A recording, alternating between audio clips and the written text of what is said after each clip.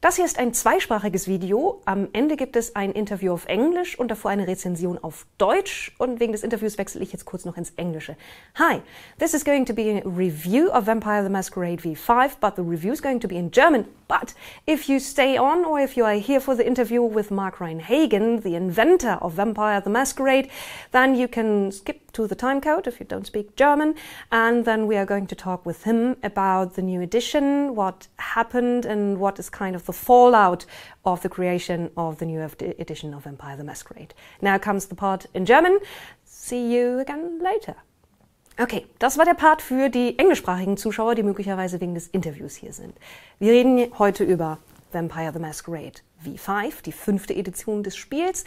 Und am Ende werden wir mit Mark Ryan Hagen sprechen, ähm, dem ursprünglichen Erfinder von Vampire the Masquerade, der äh, beratend und schreibend teilweise an der Edition beteiligt war, an der neuen und nie wieder an einer beteiligt sein wird.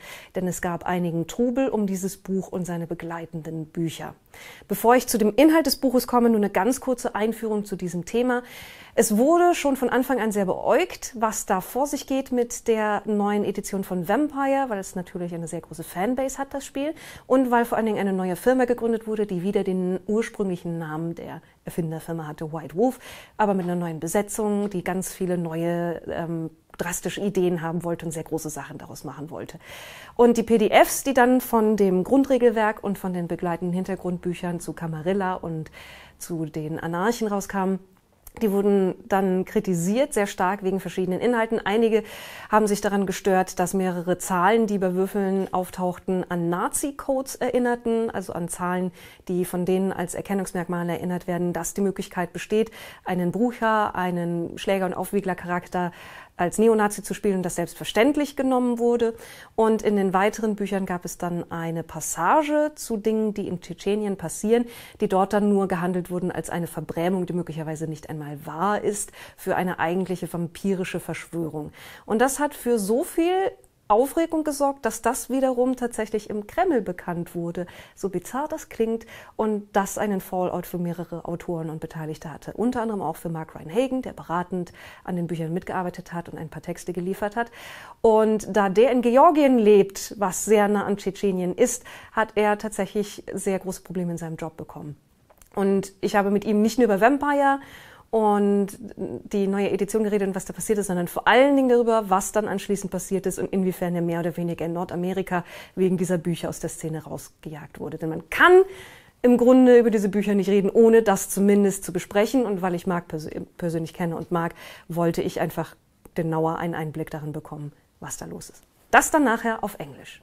Dieses Interview ist auch mit der Grund dafür, warum wir über das Buch jetzt erst reden, obwohl es schon seit einem Jahr ungefähr existiert, weil ich diese Stellungnahme von Marc auch einfach dazu haben wollte und über diesen Part wirklich äh, fundiert reden können wollte. Und dass das auch gedauert hat, das Interview mit Marc zu bekommen, hat mit verschiedenen Dingen zu tun, unter anderem auch tatsächlich mit seinen Problemen im Job und der ganzen Situation, weil er andere Sachen annehmen musste und sich neu orientieren musste und dergleichen und immer mal wieder verschwindet. Und noch kurz zu der Erklärung, was der ganze Zusammenhang mit Kreml, Tschetschenien, Georgien und dergleichen ist. Tschetschenien ist zwar offiziell eigenständig, aber es ist mehr oder weniger absolut Russland treu, Putin und Kreml treu. Und vor allen Dingen ist Tschetschenien ein Land, das behauptet, dass es keine schwulen oder lesbischen Personen gibt und das sehr klar nachweisbar tatsächlich diese Personen verhaftet und teilweise in Lagern verschwinden lässt. Und genau dieses Thema wurde in einem Vampire-Buch angesprochen, nur eben auf die Art und Weise, dass es dort als wie gesagt, als Verbrämung von einer eigentlich vampirischen Verschwörung wurde. Ein realweltliches, tragisches und hochbrisantes Thema zu nehmen, um damit etwas Übernatürliches zu erklären, ist eine ungünstige Sache. Ich persönlich halte es auch für kein gutes Framing für das Thema. Aber warum das überhaupt in dem Buch vermutlich drin war und genauer darum, was das dann für einen Ärger ergeben hat, wenn wir später noch reden, nur kurz noch dazu, dass Georgien auch die Problematik hat, dass regelmäßig seine Grenze weiter nach Süden rückt und russische Truppen dort aktiv sind. Schwierig. Also im Endeffekt hat diese ganze Situation dafür gesorgt, dass, äh, also meiner, meines Wissens nach, es wurde mir ziemlich klar gesagt, hat die Person, die den Text geschrieben hat, einfach nur auf die Lage aufmerksam machen wollen, weil sehr viele Leute weltweit über die Situation in Tschetschenien gar nicht Bescheid wissen. Sehr viele Leute, die es dann gelesen haben und aber über die Situation schon Bescheid wussten, waren der Meinung, damit sollte Leid verharmlost werden und haben es kritisiert.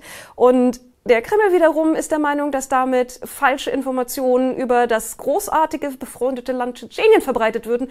Und das wäre auch nicht in Ordnung. Und deswegen hat äh, Mark als jemand, der an dem Buch mitbeteiligt war, aber keine Weisungsbefugnis hatte, von sehr vielen verschiedenen Seiten Feuer abbekommen. Aber dazu dann jetzt wirklich alle Details später im Interview. Jetzt reden wir wirklich tatsächlich über das Buch und die Inhalte, nachdem wir das aus dem Weg bekommen haben. Das heißt, ich werde mich jetzt erstmal bis zu dem Interview auch nicht weiter zu politischen oder brisanten Anteilen der Inhalte äußern. Vampire the Masquerade. Ursprünglich ein Spiel darüber, dass Vampire in der Nacht leben, heimlich unsere Welt manipulieren und versuchen, ihre Menschlichkeit nicht zu verlieren. Und heute ein Spiel übers Essen. Vampire the Masquerade V5 ist eine spieltechnische und storytechnische Fortsetzung der bisherigen Ausgaben. Und es gibt durchaus Leute, die mit Vampire the Requiem, was zwischendurch angesetzt wurde, das war eine Erzählebene, wo erstens die Regeln sich geändert haben und vor allen Dingen die Geschichte weiterging, ähm, dass, dass eine Art Weltuntergang für die Vampire tatsächlich anfängt, der lange Zeit immer nur angedeutet wurde. Viele Leute waren damit nicht so einverstanden und in vielerlei Hinsicht geht V5 zurück zu dem, wie Vampire the Masquerade vorher war, aber die Ereignisse in Requiem sind trotzdem irgendwie noch Teil der Spielwelt. Wir befinden uns also in der Jetztzeit. Vampire existieren durchaus weiter so, wie wir sie kennen. Und von dem storytechnischen Hintergrund her ist es so, dass tatsächlich die Urahnen der Vampire, die Vorsintflutlichen, angefangen haben, ihre Nachkommen, ihre mächtigsten Nachkommen in den Nahen Osten zu rufen, weil eine der vampirischen Organisationen die gegen diese uralten Vampire und gegen die Blutsbande, die da existieren, rebellieren, gegen den Sabbat, wie die tatsächlich dorthin gezogen sind und angefangen haben zu versuchen, die Schlafenden vor Sintflutlichen auszuheben. Das heißt tatsächlich, diese Thematik ist Hintergrund dafür und ich finde es insofern ganz gut eingearbeitet, als dass das heißt, dass sehr viele Plätze frei werden für jüngere Vampire. Denn die Tatsache, dass man als jüngerer Vampir in einem System, wo je älter man ist, desto mächtiger man ist. Vor allen Dingen, je niedriger die Generation seit dem ersten Vampir der Welt ist, umso mächtiger man ist. Das war eine Situation, in der man häufig keine Aufstiegschancen hatte. Das ist also erzählerisch geändert worden und es ist auch tatsächlich regeltechnisch geändert worden, denn die Generation ist nicht mehr alles entscheidend, sondern es geht darum, wie wirkkräftig das Blut ist, über das man verfügt und das kann tatsächlich mit der Zeit steigen. Abgesehen davon hat sich die Welt insofern auch verändert, als dass äh, die Vampire aus Versehen selber eine neue Verfolgung ausgelöst haben. Es gibt jetzt weltweit mehrere Geheimdienste, die von ihrer Existenz wissen und sie verfolgen. Und das Shreknet, das von einem Vampirclan betriebene eigene vampirische Internet aufgelöst und ausgehoben haben.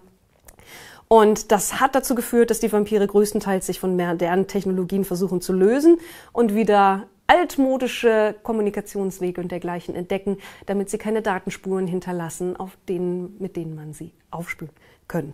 Das heißt, es ist tatsächlich ein netter, netter kleiner Trick, um die Erzählung der Vampire in der modernen Welt quasi zu isolieren von dem, was vieles der modernen Welt ausmacht und sie ein bisschen auf, eigen, auf diese Art und Weise mehr zu Außenseitern zu machen und eine Bedrohungssituation für sie aufzubauen, eine interessante. Das ist mehr oder weniger der, ähm, der erzählerische Stand der Dinge. Und da kommt noch hinzu, dass die allerjüngsten Vampire, die gezeugt wurden, die sehr, sehr schwaches Blut haben, jetzt auch mehr oder weniger eine eigene Existenz haben, die immer wichtiger wird und auch interessanter wird. Erzählerisch ist das durchaus spannend, aber aus diesem Buch hier gar nicht so einfach rauszulesen. Das Buch ist zwar interessant geschrieben, auch die Fluffteile, Briefe, Berichte von Agenten, die wiederum hinter Vampiren her sind, andere ähm, Aufzeichnungen, Gespräche von alten Vampiren miteinander, die mitgeschnitten wurden und dergleichen. Die sind gut geschrieben, aber darin sind die Informationen teilweise so wild verteilt und so mysteriös, dass man ohne Vorwissen oder ohne die begleitenden Bücher zu Camarilla und Anarchen sich vermutlich relativ verloren finden wird in diesem Buch.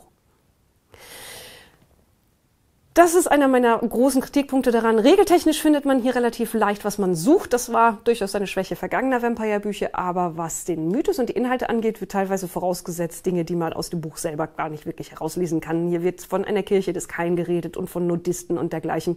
Notdisten, ganz wichtig, nicht Nudisten. Und wenn ihr euch noch nicht mit Vampire auskennt, dann ist das vermutlich für euch ein großes Fragezeichen und ihr würdet in diesem Buch auch nicht wirklich erfahren, worum es da geht, sondern immer nur irgendwie Anrisse und Andeutungen, was kurios ist, weil es tatsächlich nämlich auch Charakteroptionen sind, zu verschiedenen solcher Gruppierungen zu gehören.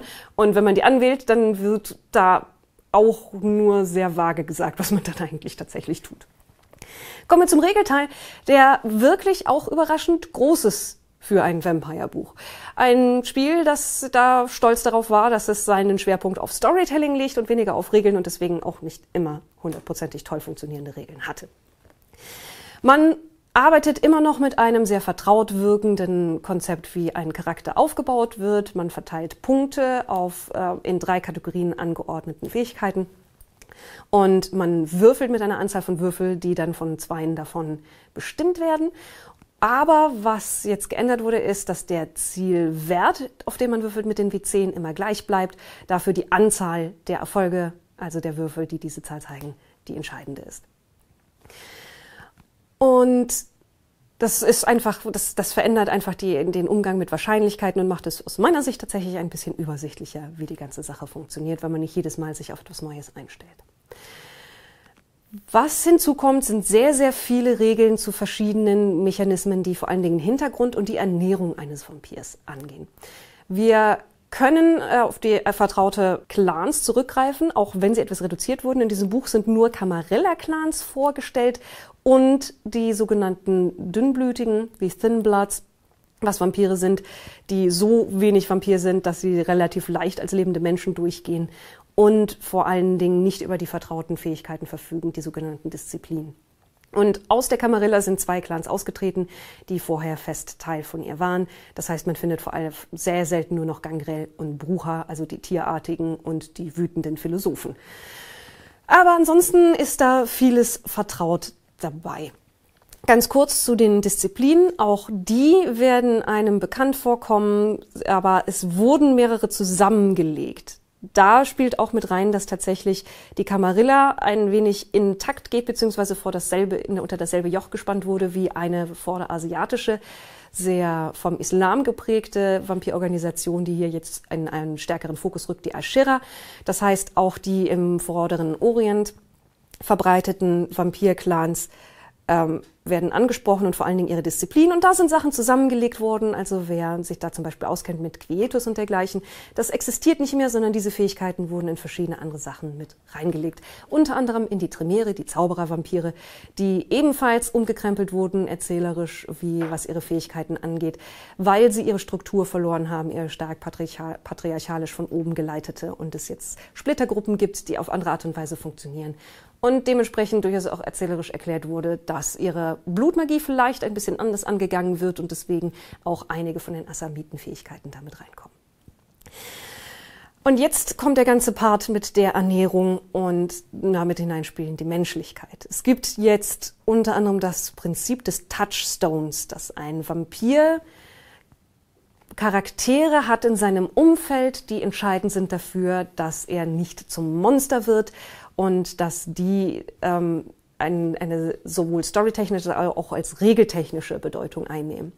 Und dann kommt hinzu die Ernährung, denn es geht jetzt nicht nur darum, dass einige Clans zum Beispiel darin eingeschränkt sind, was sie essen können, also von welchen Personen sie Blut zu sich nehmen können, ohne dass es eine Gegenreaktion gibt, sondern dass jeder Vampir quasi einsortiert wird darin, wie jagt man und das gibt einem dann wiederum bestimmte Regelmechanismen, die in den Charakter aufgenommen werden. Und dann kommt noch hinzu, dass es eine Resonanz im Blut gibt, die dann teilweise so stark geben kann, dass sie einem besondere Fähigkeiten gibt als Vampir, wenn man von einer Person mit diesem Blut trinkt.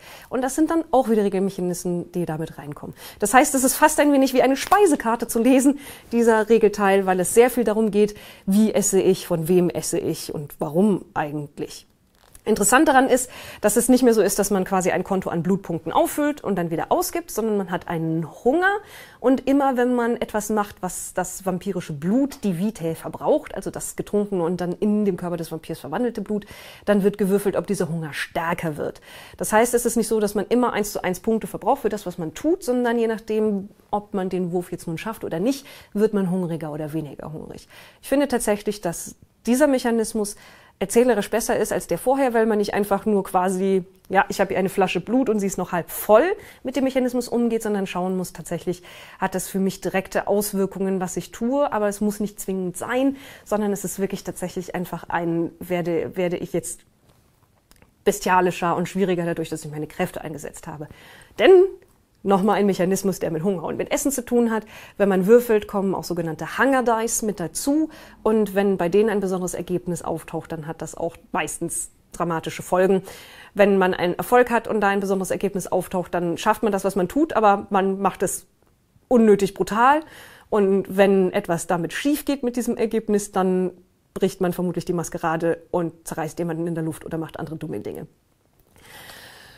Puh. Und das ist also eine ganz groß, es ist ein großes Konglomerat an Verregelungen von diesem ganzen, ganzen Hunger, Essen, Personengeflecht um einen drumherum. Das finde ich teilweise gut, aber insgesamt ist es fast ein bisschen zu viel. Viele von den Ansätzen wie die Hungermechanik, wie die Touchstones und dergleichen finde ich durchaus interessant und ganz gut durchdacht, aber irgendwann, wenn man dann bei den Resonanzen und dergleichen angekommen ist, wird es doch schon komplex und vor allen Dingen ungewohnt komplex für Vampire. Kommen wir noch zu den Thin Bloods, den Dünnblütigen, die tatsächlich ein sehr interessantes Konzept haben. Die haben keine Disziplin normalerweise, mit denen sie quasi normale Vampirkräfte anwenden können, aber dafür können sie eine Art Alchemie anwenden, eine widerliche Alchemie, bei der sie Blut mit bestimmten Resonanzen verwenden und bizarre Dinge von Fingernägeln über Alkohol bis hin zu Traktor, Diesel oder Diamanten. Und dafür muss man jedes Mal für einen, für den, quasi den Ersatz einer vampirischen Fähigkeit oder einer übernatürlichen Fähigkeit ein Rezept erzeugen und dann das entweder im eigenen Körper, im Körper eines Opfers oder in einer Art alchemistischen Ofen zusammenbrauen. Und dann hat man quasi eine Vampirkraft abgefüllt. Das ist faszinierend, interessant und eklig und teilweise auch abstoßend, wenn man dann quasi sich einen menschlichen Sklaven hält, den man als alchemistischen Ofen benutzt, was eine von den Varianten davon ist. Aber es ist schwächer im Vergleich zu dem, was echte in Anführungsstrichen Vampiren können. Deswegen wird auch empfohlen, dass man keine gemischte Gruppe macht, sondern man spielt entweder nur dünnblütige oder nur Vampire von einer Generation, die tatsächlich noch wissen, was sie tun. Das war jetzt hm, ein garantiert nicht hundertprozentig vollständiger, aber relativ umfangreicher Überblick darüber, was dieses Buch liefert inhaltlich. Geschrieben ist es tatsächlich auch größtenteils gut und auch angenehm zu lesen und unterhaltsam, gerade mit den Fluffteilen, mit denen es einsteigt. Bei den Regeln muss man sich irgendwann durcharbeiten, weil es irgendwann nur noch Listen von Resonanzen und von Fähigkeiten und Alchemie sind. Und die Bebilderung ist für mich gewöhnungsbedürftig insofern, als dass es eine Mischung darstellt aus verschiedenen Kunststilen und verfremdeten Fotos. Wobei die Models auf den Fotos sich auch relativ schnell wiederholen. Es gibt irgendwie so fünf, sechs verschiedene Fotostrecken quasi, die da verwendet werden und die auch nicht immer irgendwie ganz passend wirken. Und dann sind wir auch bei dem Cover. Ich denke, jeder, der sich mal mit Vampire beschäftigt hat, auch nur ganz vage am Rande, erinnert sich an das ikonische erste Cover, das entstanden ist, weil Mark Reinhagen und die Leute, mit denen mit ihm zusammengearbeitet haben, kein Geld hatten und unter Zeitdruck waren und dann einfach eine einzelne Rose auf einen, einen etwas abgenutzten Marmortisch gelegt und fotografiert haben. Aber das hat funktioniert und war ikonisch. Und das hier ist einfach nur ein stark verfremdetes Bild von einem Gothic-Model mit billigem Schmuck, was ich sehr viel weniger aussagestark finde. Und das setzt sich auch ein bisschen fort bei den Begleitbüchern zu Anarchen und Camarilla. Also eine etwas seltsame Bebilderung, wo, glaube ich, jemand seine künstlerische Fotoader ausleben wollte und damit müssen wir jetzt auch alle leben, denke ich. Und das Layout ist ebenfalls teilweise ein bisschen seltsam. Die Seiten haben manchmal zwei, manchmal drei Spalten und hin und wieder scheint sich jemand nicht ganz entschieden haben zu können. Und wir haben drei Spalten und in einer ist nur eine, eine einzelne kleine Sache und dann ist da auf einmal Freiraum, der nicht weiß, was er tun soll.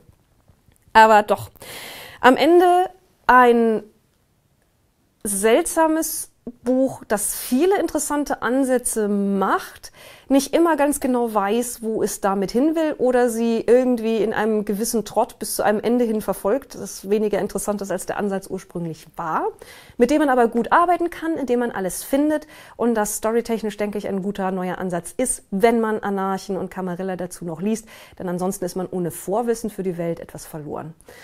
Das sind am Ende mit sehr viel nach oben und wieder nach unten korrigieren während des Lesens relativ gleichgültige sieben von zehn möglichen Punkten. Und jetzt wechseln wir zu dem Interview mit Mark Reinhagen und reden mit ihm über Vampire, Online-Verfolgungen, Ausladungen von Cons und Ärger mit dem Kreml. Vielen Dank für die Aufmerksamkeit. Viel Spaß mit dem Interview. So, hi Mark. Thank you. Hey, how are you doing? I, am fine. Um, Spiel in Essen has just wrapped up, and now we finally find the time to talk. So I'm very happy. How are you? I am well, recovering from a flu. So I've been coughing now for weeks. So if I do cough during the show, uh, please, uh, please pardon me. I, I can't help it. No problem. And also, we can kind of kind of break awkward silences uh, with a little bit of coughing. And awkward silences is maybe what's going to happen because the thing we're going to talk about today is slightly awkward and very weird. We're going to talk about Vampire V5 and what happened in the let's call it the aftermath of the book's releasing.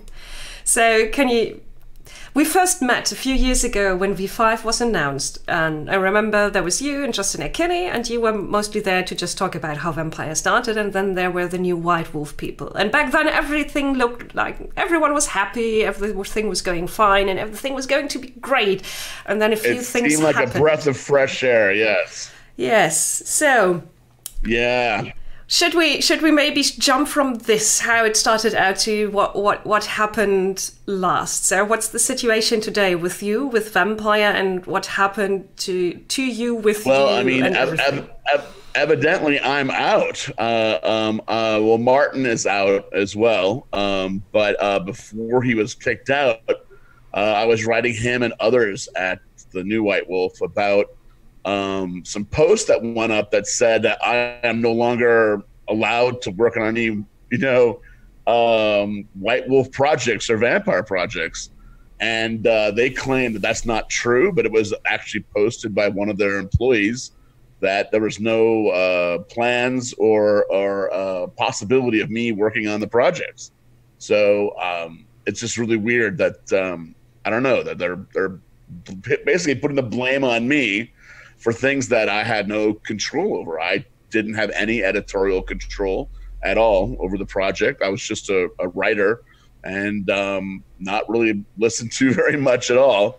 Um, so it's quite a strange situation to sort of be persona non grata um, in my own world, in my own game. So my advice to people out there is uh, never, ever, ever sell your worlds or your games uh, wait, wait for your heirs to sell it. Um, but in your own lifetime, um, it's just far too painful. It's it's incredibly painful to be kicked off of your own your own baby. You know, it's it would be it's just like uh, I don't know. It's like R. R. Martin being told, "Yeah, your ideas about you know uh, Game of Thrones and Westeros, we don't like that, and uh, you're." Um, an old man and we don't want you to have anything to do with our, our, our stuff anymore. You know, it's, it's, it's a weird, it's a weird thing. It's, um, you know, but I'm working on new stuff. And so, you know, moving forward, but, um, yeah, I will, I will, I will never have, uh, partners again where, and I will always own my IPs hundred percent and I will never sell them again. Yeah. So your art of vampire uh, martin ericsson who was kind of the lead storyteller for for um, v5 he's out too. And like, basically everyone at the new white wolf has been exchanged uh, except for a few people. And i still wonder why. Can can you walk me a little bit through what happened? What was the reason that there was kind of this this um, change of tune and the change over to um, modiphius for publishing? Yeah um I think that their sales weren't as strong as they wanted was one thing. Um, because I think the rollout was a bit awkward, and and not just in terms of you know um, certain interest groups, you know, protesting and all that. That's the other issue. Um, but I think the rollout, just for marketing wise, and the way they approached it, uh, a lot of the the fans weren't as interested in this project as you know maybe they should have been. And uh, what I had been arguing inside the team and privately is that you know um, fans don't really want things to change that much. Uh, this is what I always argued at White Wolf and, and afterwards, is, and, and, what I really didn't like, you know, Vampire Redemption for is that when you change things to suit your own ego, that you are a creator and inventor, that may make you feel great, but the fans basically want very minor, subtle changes. You know, they don't want wholesale changes. Like if you're buying Call of Cthulhu 10th edition, you don't want there to be a whole new bunch of gods and a whole new reason why they came to Earth and are fighting. And you know what I mean? I mean, and you know, you, you want tweaks and changes that, that make the same experience better. Mm-hmm. And, and so, but I think people in gaming, you know, there's not a whole lot of money in role playing, right? So people do a lot of things for for ego, you know, because they love it. They love this world. They want to be a game designer. They want to create something, and I understand that. And I always try to give people latitude to create their own stuff. But I always tell people, whether they're working on my stuff or anyone else's, don't play with it too much. You know, that's not what people want. They want, you know, if if you love Star Wars and a new Star Wars movie comes out, you know, the reason why the Star Wars movies have done the best are the ones that are repeats, because that's mm. kind of what the fans want, whether they can admit it or not. You know, they don't want a brand new experience. They want they want that same old experience. Yeah. And and and, and I think of role playing, there's so many ways in which you can do something new. That why change the fundamentals of the setting? Why get rid of clans? You know why? Why make the world so completely different? I mean, the world has changed. You have to update things, of course because it's not the 90s anymore. But do you want to change everything? You know? So I think that was that was a big mistake right there. Yeah, but we also we also definitely should talk about what you kind of um, alluded to just now that different interest groups were protesting and that uh, people were unhappy with the books for completely different reasons.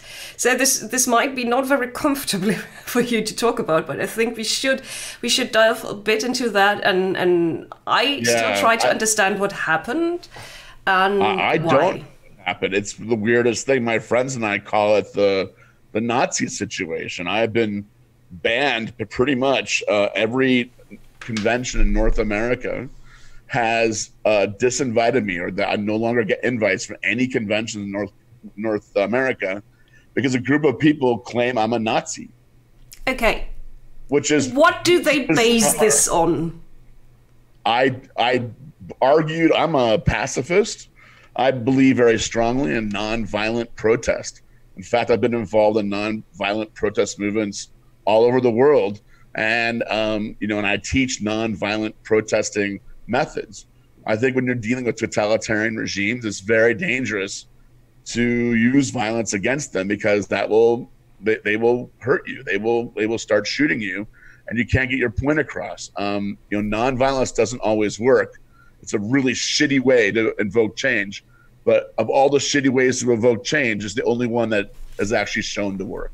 So I'm very, very strongly a pacifist. So one time on an argument online, these liberals are talking about punching Nazis in the face. And I said, I don't believe you should punch anyone in the face. That goes against all my principles. And I think that's a very reckless and insane thing to do. How do you even know they're a Nazi? And we actually had former Nazis in the discussion saying, yeah, if anyone had punched me in the face, that would have made me more of a Nazi and slowed down or even prevented me from not being a Nazi anymore.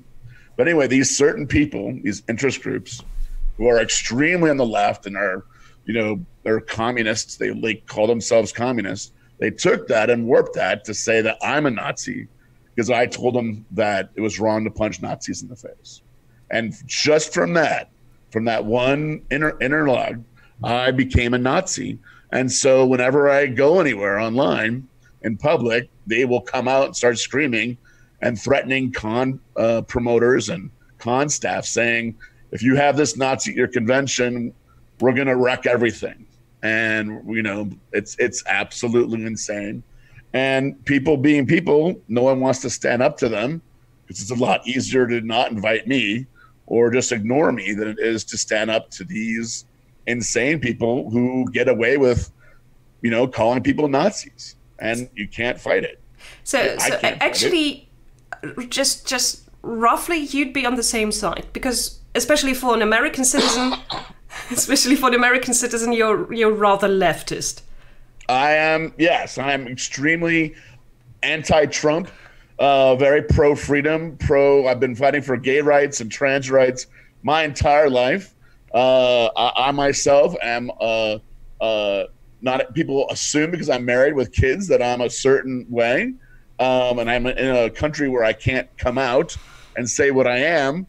But to, but to assume anyone is straight is, is rather ridiculous, right? You know, the world is a very complicated place, and we all lie in the, the Myers on the on the spectrum in different ways. You know, and so um, so not only am I left, but I, have had life experiences that are um, far more radical and unusual, I think, than, than people realize. Um, um, so, so yeah. So for any for them to call me a Nazi is insane, and and all I can say to anyone who's ever played any of my games is that if you think someone who can create a game in which humanity is at the core of, of the of the game system and, and, and ethics and ethical systems is, is what the game is about then then you're insane. Like how how can that person be a Nazi? Um, and I guess people do change, but but boy, I, I, certainly haven't. I'm I'm still fighting the good fight. Only I'm not. I don't have Western privilege. You know, I'm living in developing countries, trying to help people over here have freedom. You know, and when people fight do gay rights over here, you know, they get shot, they get killed. A friend of mine, a trans woman was was was killed recently. Not well, not recently now, but it feels recent to me. You know, this is a big deal over here, and and I think a lot of times people um, navel gazing in the West with about their own rights are failing to understand, you know, how much we need your help over here in the developing world. Yes, and, you, and you I, are living you're living in Georgia, which is not the Georgia most US citizens will know, but it's the actual Georgia. The we have ten thousand years of, of culture Georgia. And yes, yes. Where where we're actually in the Caucasian region, as in Syria there's actually right over here. Caucasia, yes. Russia's right over here. And uh, Russia is right over there and coming closer every day. Yes, yes, yes. And and a certain place called Chechnya yeah. is, is literally um, 60 miles from me right now. Chechnya was one of the things that kind of also set off um, uh, a campaign, or at least a lot of complaints about the vampire books, because it, it was in the Camarilla supplement or in the Anarch supplement. I'm um, right now not, not so sure. There was an in-character piece about Chechnya and about how um, yes LGBTQ people that. are persecuted. And I defended that piece because it was in character and it was very much clearly made clear in the writing by the writer that it was in character and it was written, uh, you know, about, um, you know, from the point of view of that character, which is a very, you know, not just a vampire's point of view, but a, a very despicable vampire's point of view. Um, and and I thought that that was crazy that people were basically trying to censor um, art. That that you can't write even from a character's point of view. Now I understand if if you know in a and if it was in a encyclopedic in the in the game you know sort of words was trying to say these things but it wasn't. It was in a character's point of view. So that's nothing that got me in trouble as i'm defended. I was honestly at the time surprised people were upset about this. And i thought it was a, a very much a, a moment of western privilege to think that you know the people who contributed to that and wrote that i happen to know were people actually from Chechnya. You know, there are actually people who, who experienced that firsthand. And to try to censor their experience and their and their ability to express themselves, I thought was despicable. Um, was, but of course, once the Russian media got involved, I was completely yeah. silenced. I couldn't say anything, and and really still shouldn't. Um, you know, but but once the Russian media got involved and the Chechen people were scouring Tbilisi, it, you know, we all went into hiding. Uh, all, all, a lot of the game, less gamers uh, who worked on the project um, you know, or, or contributed ideas or, or facts. Um, you know, for there's several weeks there, we were all in hiding. It was, Yes. it was terrifying. Okay. Literally, I mean, it was terrifying. There was there was also I remember we, we, we did have quite quite a long talk about this and, and how I, I I'm still someone who says the framing of what the text tried to say was maybe off, but I I, I I can absolutely accept that the text was written to also raise awareness of what's happening in Chechnya because not everyone knows that the regime there over there Most claims no there are no LGBTQ people in Chechnya. Brackets because we got rid of them Yes. and yeah and um even in Georgia, people don't understand that this right across their border, there's this, you know, uh, basically this this this LGBTQ genocide going on. You know, and the whole world ignores that this is going on. It's still going on. That there's you know these horrible prison camps. You know, and and and the fact that LGBTQ instead of standing up for these people, that the Western community is trying to suppress it, I think is absolutely loathsome.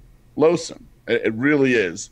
And, and people claim, oh no, we contributed money and all that. Well, I know the people who run the charities for this, and, and there was a down click in, in in donations, not an up click. So anyone who says, oh yeah, we we care, we donated, no, they didn't. No, they didn't. You know, and so um, yeah, that's one thing I'm just incredibly angry about. You know, being called a Nazi is one thing, but you know, you, you screw with my cause. You know, a cause that I really believe in and worked my whole life on.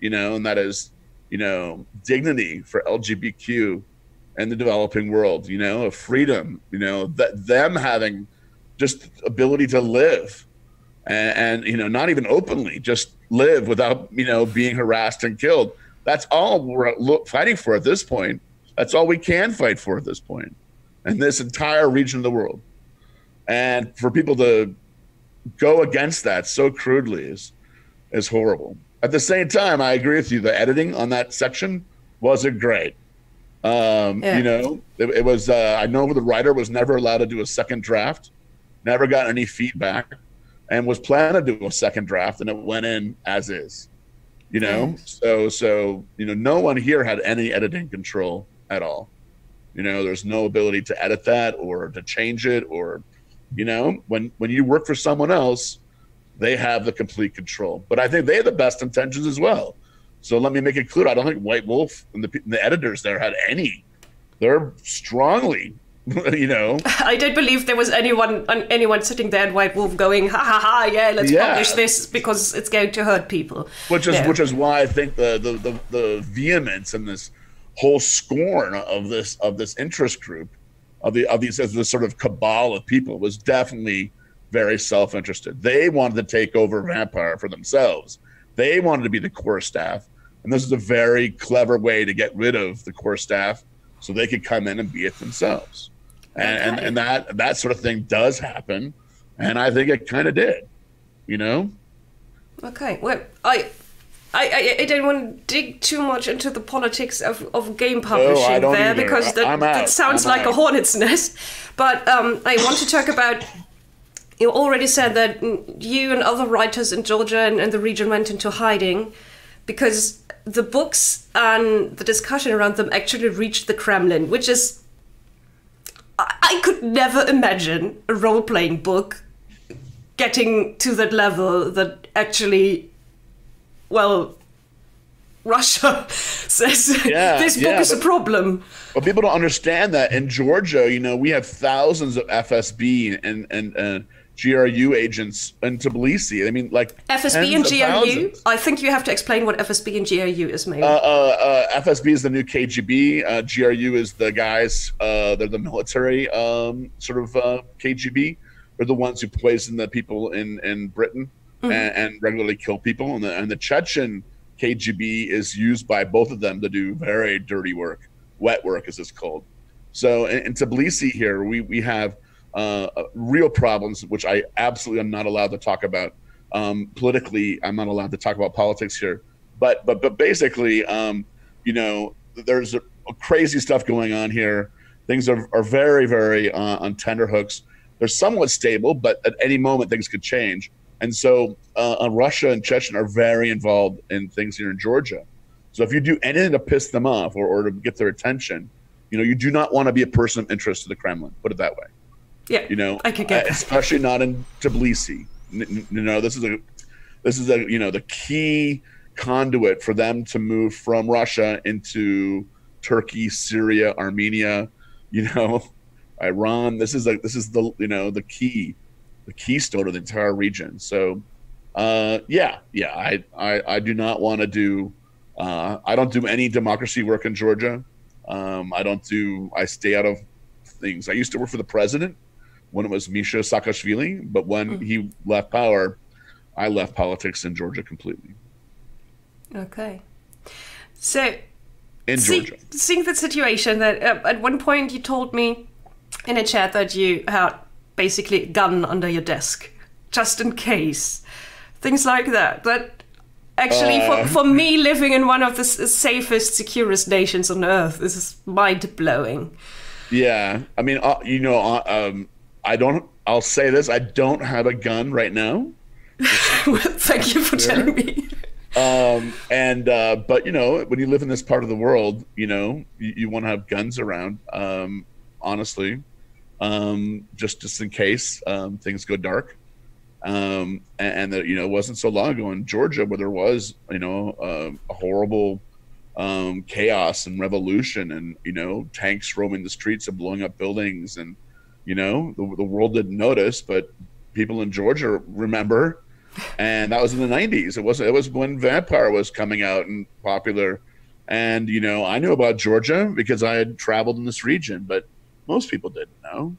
And and so um in fact my brother-in-law who was on the trip uh, after me with our college um they were in tbilisi when you know the bombs were falling and the, the war was in full swing and uh, they almost didn't get out except for a russian general took pity on him when he went over to their table at a restaurant and did a convoy and drove them to the airport and got him out in a Russian transport. So, you know, um, yeah, I have a lot of history with this region um, through me and my family. Um, but, uh, um, but anyway, um, you know, I love this country and, and I'm, I'm not going to leave. Okay, But, that was. but, but yeah, you, you, you I, I'm very aware of, of what could happen, and we have all kinds of different plans if something does happen. Uh, last time there was the war with Russia, you know, um, I was um, out in my balcony in the middle of the night. I saw the Russian bomber fly over so close. I could see the rivets and the bomb bays, which were open. And I immediately went inside. I woke up my wife and our my oldest child was a baby then. We drove to the embassy and we got in the convoy to Armenia. And even though I was running the the media stuff for for Georgia, um, the the SOS Georgia campaign and all the media stuff, the first couple days I did it from Armenia. You know, so I'm not entirely f- foolish. Don't don't think I'm you know I'm I'm I'm not in danger. I don't think um, at this point. Okay, good to know.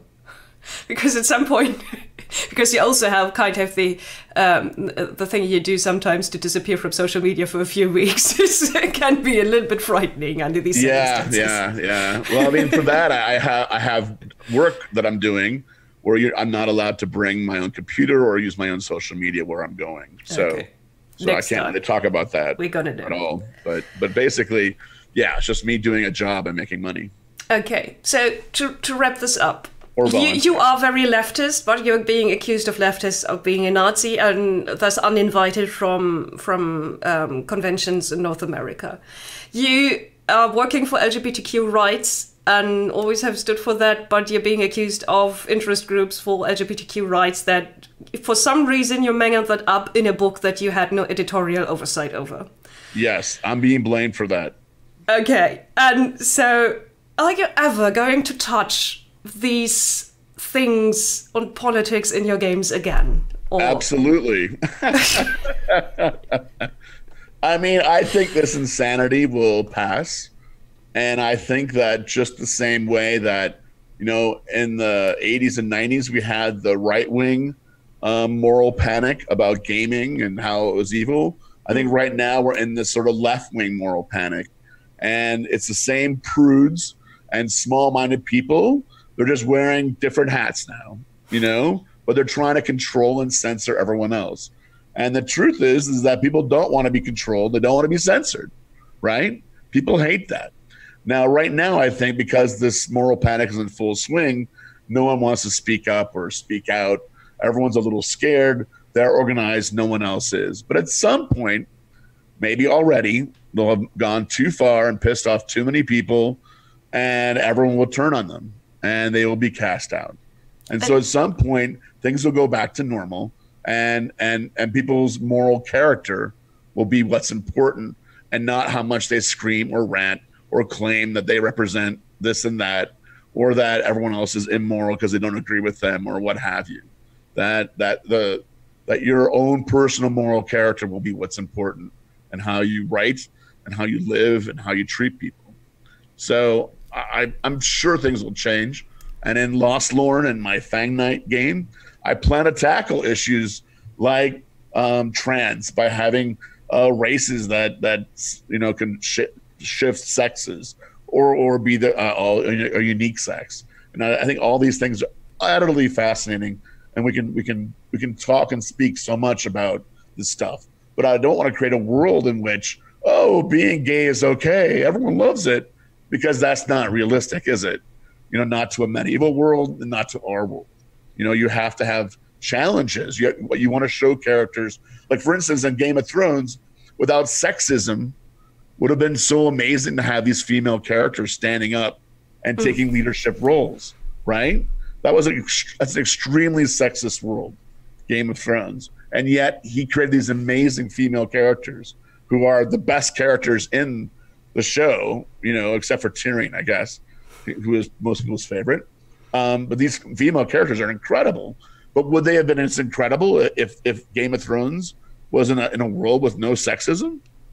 You know, I agree that probably not. I still don't. I I, I just don't want to believe that a world where uh, being being gay or trans or somewhere on any of these lovely spectrums away from what people think of as the norm that that this is inherently unrealistic I I can't believe that, well, but I that's a discussion that once, we're going to have over and over again. I think, I think. Once, once we start doing genetically altering the human genome for living in space or living on other planets or just living on Earth, that there'll be so many weirdo people being created, like the green skin people or the or the giant people. I mean, there's stuff coming that's so weird that what we consider to be weird today will be seen as nothing.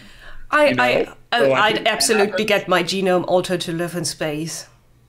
Yeah, I, I would. That would be a nice feature. I, I, I would if if it if I could go live in space and all I had to do is go and have genetic surgery and, and basically have my body altered to live in space, I, I probably would do it.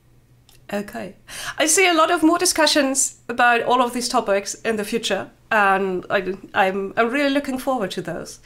Uh, thank you so much for the interview. I hope we could clear up some of the things that made me wonder what was going on with with uh, what happened after V5 release and everything. And yeah, and yeah. hopefully, and this is this is one of my biggest hopes. People who are on on the left, and I count myself as a leftist um, and trying my best to live my life that way. No I'm, plastic. Yes, getting I'm the. Getting, I've gotten rid of all plastic, electric scooter. I'm I'm living the life now. yeah, well, I just hope that kind of we get our shit together and stop basically trying to assassinate each other and take it's, a look at what the rest of the world is doing and, and see what we can actually do instead of screaming at each other. That's, yes. That's that the thing I take away from this. That would be wonderful. But that's a ways off, I'm afraid another couple years of this. Yeah. But That's... I think when we come out of it, hopefully we'll have a new movement to to fix things. I hope. Hopefully. Thank you very much, Mark. Thank you. Ein kurzer Hinweis. Orkenspalter TV ist ein unabhängiges Projekt und finanziert sich nicht über Sponsoren, Affiliate-Links, Werbung oder dergleichen, sondern über Patreon und Steady. Wir sind seit fünf Jahren auf Patreon und haben es inzwischen geschafft, teilweise davon zu leben. Wir können ehrlich gesagt auch nicht mehr anders, zumal wir zu zweit unzählige Stunden jede Woche in diesen Kanal stecken. Patrons bekommen Bonus-Content wie Outtakes, Making-ofs, Kalenderbilder, Frühzugang, soziale Gruppen und natürlich Ruhm. Wenn ihr auf das Modell keinen Bock habt, könnt ihr uns auch mit einem gratis Prime-Abo auf Twitch unterstützen, per PayPal spenden oder uns einfach auf Twitter, Facebook oder Instagram folgen. Und was immer hilft, ist ein Klick auf die Buttons unter mir. Egal welche. Am besten alle. Also vielleicht von den Händen nur die nach oben. Oh, und was den Ruhm angeht, wie versprochen, hier kommt er. Der Patron dieses Videos ist Bruder Tjorben. Vielen Dank, dass du an uns glaubst. Mach weiter so. Wir mögen dich und bis bald. Und das hier ist dein Video. Ganz allein für dich.